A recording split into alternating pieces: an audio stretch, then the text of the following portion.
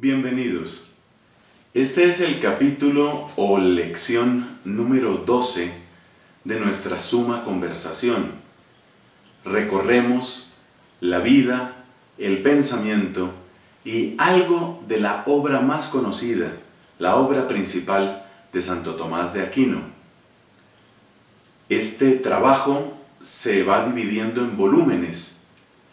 El primer volumen contiene los primeros cinco capítulos, el segundo volumen los siguientes cinco capítulos hasta el número 10, así que nos encontramos avanzando en el tercer volumen. Y nuestro tema central en este tercer volumen es el significado de la teología. ¿Qué es hacer teología? ¿Cómo se relaciona con la ciencia, la filosofía? ¿Cómo se relaciona también con la Sagrada Escritura? En últimas, ¿por qué es necesario hacer teología? Este es el tipo de preguntas que Santo Tomás se hace en la cuestión primera de la suma teológica. Hoy vamos a ver un aspecto un poco sutil, un poco exigente del pensamiento de Santo Tomás. Vamos a examinar básicamente esta pregunta puesta en lenguaje contemporáneo. Nosotros decimos que la teología es el estudio de Dios, pero hay otras palabras que se escriben de modo semejante. Tenemos también la biología, que es el estudio de los seres vivos, o tenemos la entomología, que es el estudio de los insectos. Entonces cabe preguntarse, aunque suene irrespetuoso, ¿cuál es la diferencia entre estudiar a Dios y estudiar una planta o un insecto?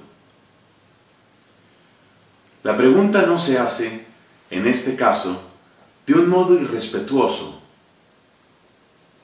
Hay algo muy profundo aquí. Sucede que el conocimiento parece darnos una suerte de poder sobre las cosas, precisamente porque conocemos leyes de la naturaleza, podemos poner a esa naturaleza a que trabaje por nosotros.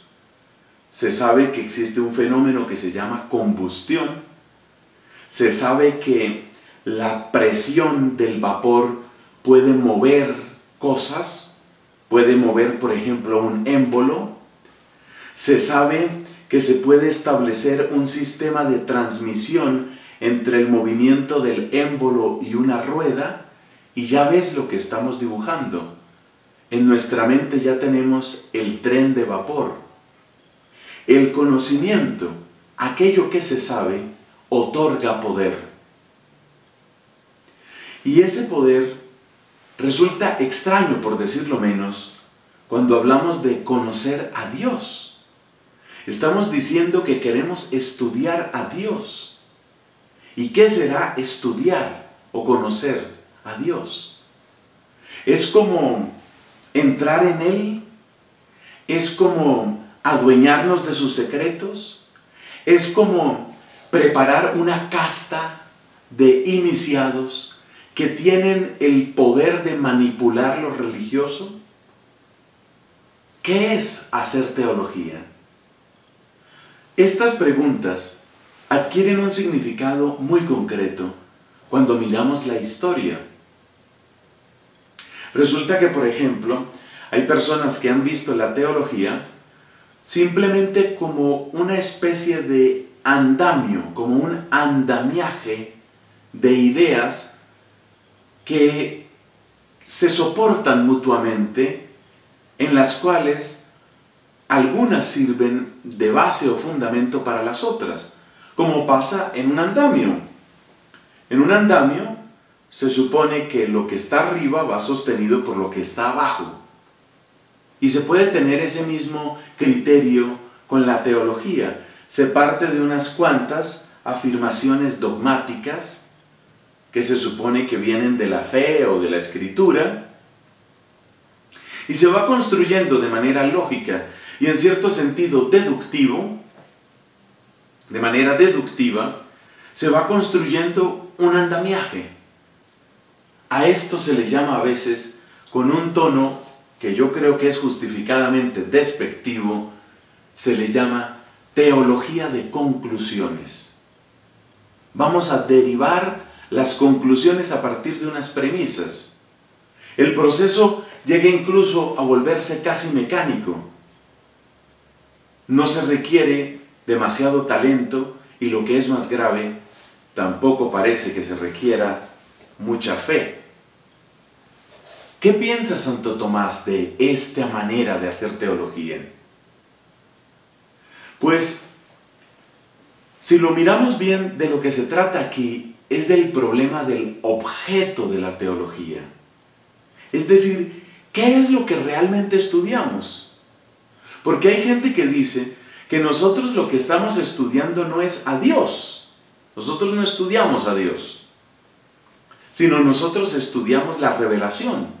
Es decir, nuestro objeto propio de estudio, según eso, sería, por ejemplo, la Biblia, serían los textos de la escritura. Ese sería el objeto propio de la teología.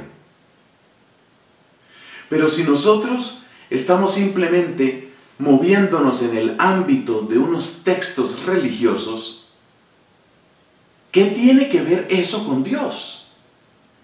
Es posible entonces que Dios y que la verdadera espiritualidad no tenga nada que ver con esa clase de gramática religiosa o de metafísica religiosa.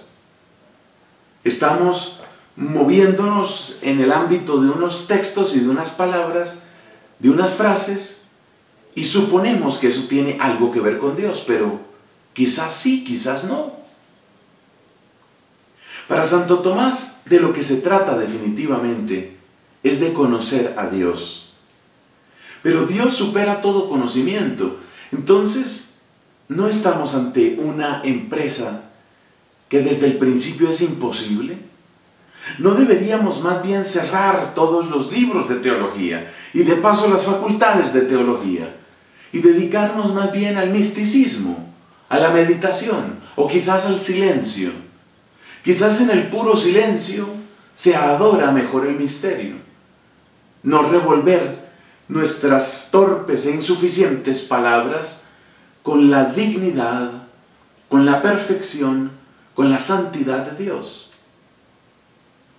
Fíjate cuántas ideas distintas se han visto en el curso de la historia, desde aquellos que quieren renunciar a todo estudio, hasta otros que prácticamente creen que un computador debidamente adiestrado puede producir y producir conclusiones y conclusiones teológicas. ¿Dónde queda la idea de Santo Tomás en todo esto? Hay dos palabras que nos van a interesar mucho la palabra sujeto y la palabra objeto. Pero estas palabras, como ya lo explicábamos la vez pasada en la lección anterior, estas palabras también tienen su historia. Nosotros miramos el término sujeto desde el punto de vista de un principio de acción. Por ejemplo, hablamos del sujeto y el predicado. Y lo que hemos aprendido, muchos por lo menos hemos aprendido en la escuela primaria es que el sujeto es el que hace la acción y el predicado se refiere precisamente a esa acción. Según eso, un sujeto es un principio de acción. La palabra latina que se utiliza es la palabra subjectum. Y resulta que esa palabra, subjectum, vemos que tiene una raíz que indica lo que está abajo, como cuando se habla del subsuelo, subjectum. Entonces, la expresión subjectum no corresponde exactamente, o no corresponde en todos los casos, a lo que nosotros llamamos sujeto, por ejemplo, en gramática. En inglés se utiliza la palabra subject y subject puede corresponder a lo que en español llamamos sujeto, pero también puede ser lo que se está estudiando o lo que se va a estudiar. Por ejemplo, se puede decir que el subject matter de algo es algo así como el asunto, lo que se está tratando, el contenido que se va a dar. Las asignaturas o materias que estudian las personas en la universidad, por ejemplo, se pueden muy bien llamar subjects. En el caso de Tomás tenemos esta expresión, y esta expresión lo que indica es algo así como lo que subyace. Esa idea nos puede servir. Subjectum es lo que subyace. Como la realidad que no es inmediatamente aparente, pero subyace y es responsable de aquello que sí aparece. Eso sería el subjectum. Y Santo Tomás se va a preguntar, por ejemplo, cuál es el subjectum de la teología, que es como decir, preguntarse cuál es la realidad última, qué es lo que estamos estudiando cuando estudiamos teología. Pero la respuesta de Tomás va a ser sorprendente y volveremos sobre ella más de una vez. La respuesta de Tomás es que el subjectum de la teología es Dios mismo. Es decir, nosotros no estamos estudiando simplemente frases, ideas, textos, opiniones, escuelas de pensamiento. La realidad subyacente a la que queremos aproximarnos con nuestra inteligencia es Dios. Dios es el sujeto de la teología. Pero esto también tiene una importancia, y es que esa realidad, por supuesto, nos desborda, y entonces resulta que lo que nosotros conocemos de Dios es nuestra teología, pero entonces nuestra teología es solamente aproximada. Y nuestra teología aproximada es un acercamiento, es un esbozo, es un barrunto de la verdadera teología, que sería el conocimiento pleno de esa realidad, la realidad que subyace. Y en este sentido también, Dios es el subjectum de la teología, porque, por decirlo de un modo coloquial, Dios es el único teólogo, el único que verdaderamente conoce a Dios, el único que verdaderamente puede comprender y puede sondear el abismo de Dios, es Dios mismo. Así que la frase, Dios es el sujeto de la teología, tiene por lo menos esas dos connotaciones. En primer lugar, que Dios es la realidad que subyace. Nosotros no queremos simplemente oír opiniones, declaraciones, tesis, razonamientos, textos, teorías. El teólogo, el teólogo humano, nosotros hacemos nuestra teología con la aspiración, con el deseo de acercarnos a ese conocimiento pleno, a esa teología perfecta que solo Dios puede tener de sí mismo. Y en ese sentido también, ya aproximándonos a lo que quiere decir la palabra en nuestro idioma, Dios es el sujeto de la teología. Pero hay otra palabra que también es ilustrativa, es la palabra objectum. La palabra objectum,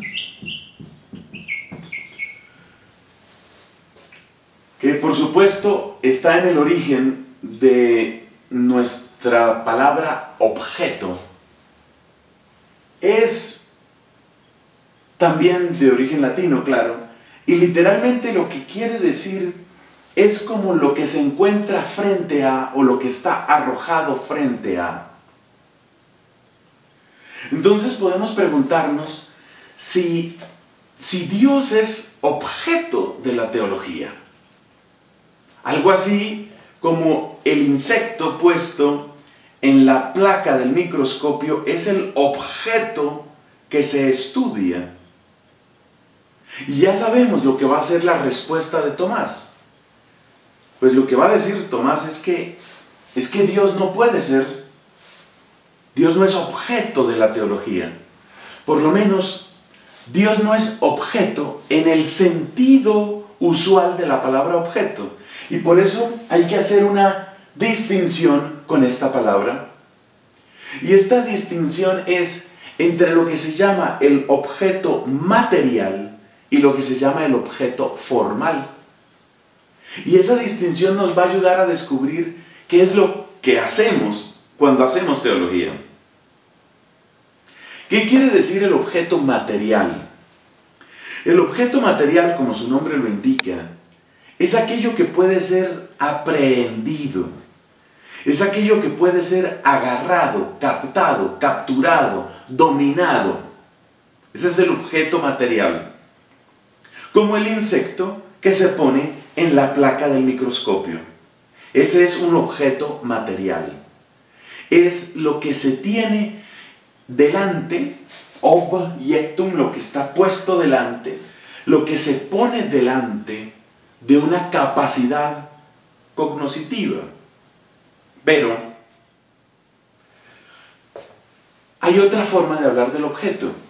Ese sería el que acabo de mencionar, sería el objectum materiale.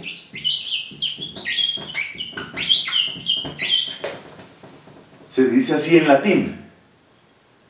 Pero el objectum materiale no es el único objectum, porque existe también el objectum formale, el objeto formal. ¿Y qué quiere decir el objeto formal? Podemos decir que el objeto formal alude al cómo, al proceso, al procedimiento. Yo creo que el ejemplo que da Tomás es ilustrativo. Supongamos que queremos estudiar lo que significa ver. Ese va a ser, eso es lo que nosotros queremos eh, dentro de este ejemplo. ¿Qué es ver? Queremos estudiar el sentido de la vista. Entonces, al analizar lo que sucede cuando vemos, obviamente tenemos que pensar que la vista no existe en el vacío, sino que la vista tiene objetos, que son los objetos vistos los objetos que se ven. Siendo así las cosas, uno puede saber que la vista recorre distintos objetos, distintos objetos materiales. La vista se puede detener en una manzana, en un arbusto, en un rostro, en una silla, en el firmamento. Son incontables los objetos materiales pero si yo estoy estudiando la vista, el sentido de la vista, yo no estoy estudiando el firmamento, ni estoy estudiando el arbusto, no, no estoy estudiando el rostro humano, ni estoy estudiando la manzana. Y sin embargo, en todas esas instancias, en todos esos momentos, estoy estudiando algo que tiene que ver con la vista. Entonces, ¿qué tienen en común todos esos elementos? Cuando yo busco lo que tienen en común objetos materiales diferentes, unificados por un mismo procedimiento, unificados por una misma operación, entonces ya no estoy buscando objeto material, sino que ya estoy buscando el objeto formal. Entonces me doy cuenta que yo no vería la manzana si fuera transparente. Yo no vería el arbusto si fuera transparente. Yo no vería las estrellas si ellas dejaran simplemente escapar toda su luz y fueran transparentes. Es decir, una estrella que no emitiera ninguna luz, una estrella que fuera como una bola gigantesca de cristal, yo no la podría ver. Entonces me doy cuenta que vemos las cosas precisamente porque no son transparentes. ¿Y qué es lo contrario de ser transparente?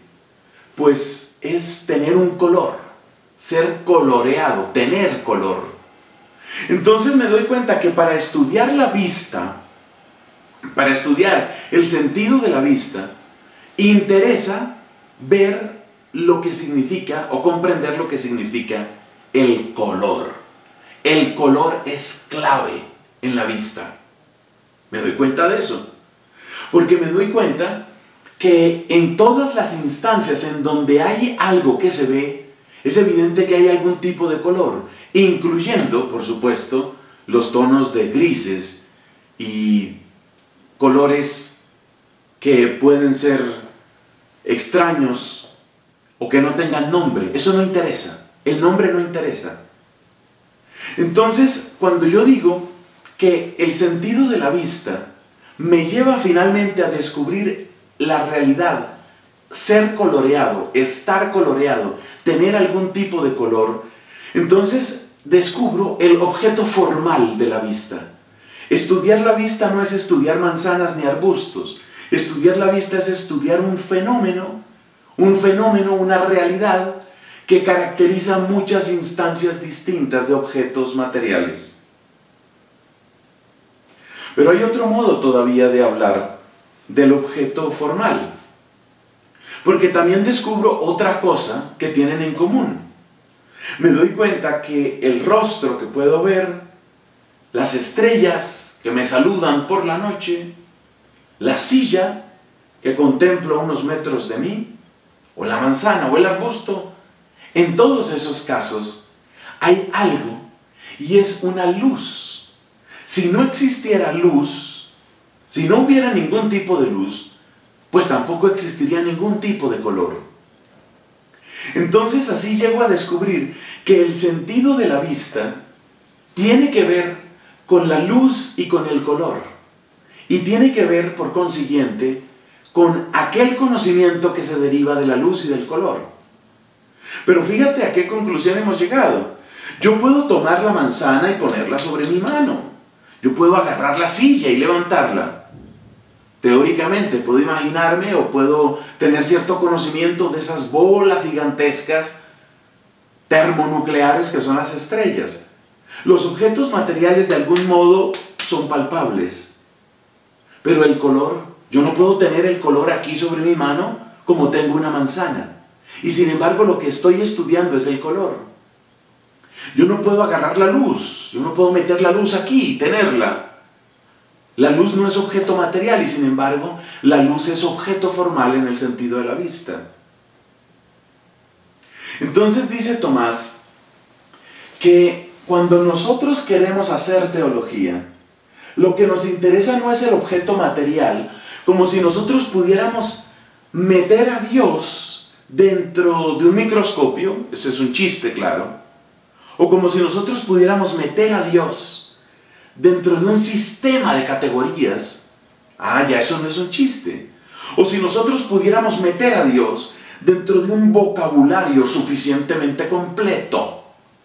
Nosotros no podemos nunca encerrar a Dios como objeto material, pero Dios sí puede ser objeto formal Especialmente la analogía con la luz es útil, porque la analogía con la luz nos hace ver que el principio de la vista, el principio del ver, se encuentra precisamente en la luz. Entonces dice Tomás que hacer teología es como descubrir lo que aprendemos del mundo, y el mundo es el mundo todo, el universo entero, en cuanto, en cuanto está iluminado por Dios, en cuanto hace referencia a Dios. Esto tiene que ver con lo que hemos comentado en otra oportunidad sobre los distintos sentidos de la expresión ratio. Y por eso Santo Tomás habla de la teología como conocimiento de Dios y de todo subrazione Dei, bajo razón de Dios. Es decir, en cuanto está iluminado por la realidad divina.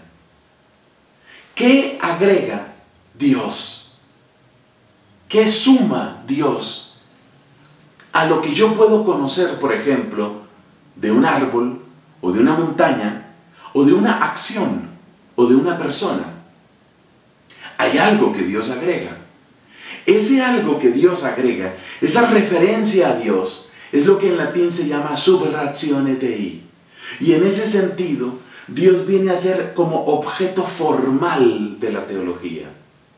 Estas dos palabras, subjectum y objectum formale, nos ayudan a comprender un poco qué es lo que hacemos cuando hacemos teología.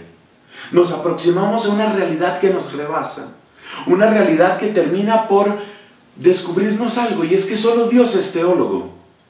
Eso por el lado del subjectum. Y por el lado del objectum, ¿qué aprendemos? Aprendemos que nosotros no apresamos a Dios como un objeto material, ¿eh? pero que ciertamente la realidad divina nos permite descubrir cuanto existe en una luz distinta. Y eso, eso que descubrimos, eso también forma parte del quehacer teológico. Es una noción muy hermosa, muy completa y sobre todo profunda y fecunda. Yo doy gracias a Dios por un teólogo como Tomás de Aquino y le pido al Señor que de esos dones de sabiduría nos haga partícipes también a nosotros. Así sea.